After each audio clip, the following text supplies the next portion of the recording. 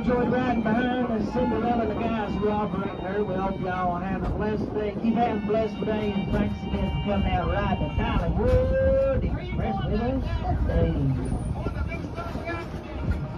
Where you going, Finland, Mel? On the Kingsport, Tennessee.